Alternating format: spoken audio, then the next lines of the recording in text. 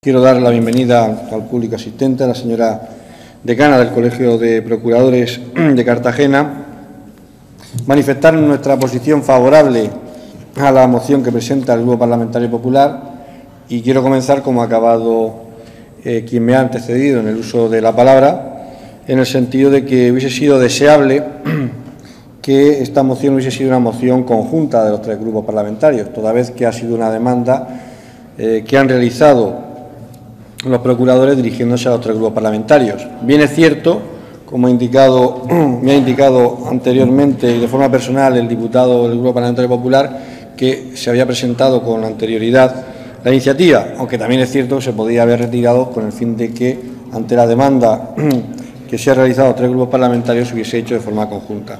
Dicho esto, para que sirva, en definitiva, para posteriores situaciones similares en las que, cuando hay una demanda colectiva y los grupos parlamentarios estén de acuerdo, creo que es mucho más eh, positivo para la propia iniciativa, para la propia imagen de la iniciativa y para la propia imagen de la institución que la iniciativa, que la moción, siempre y cuando haya acuerdo, pues salga adelante con el apoyo de los tres grupos parlamentarios.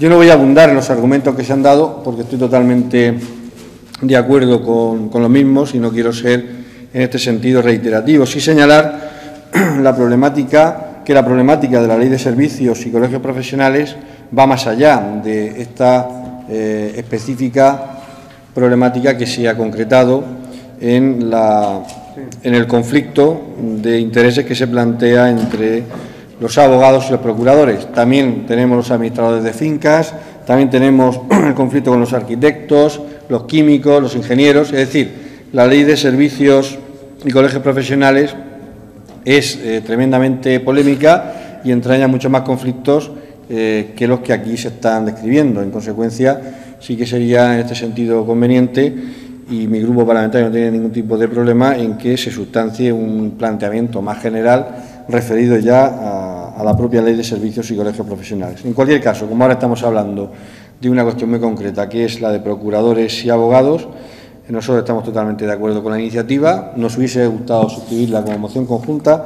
En cualquier caso, la, la apoyamos y la defenderemos. Muchas gracias.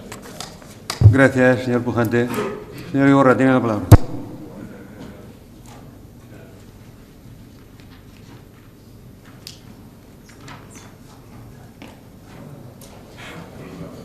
Gracias, señor presidente.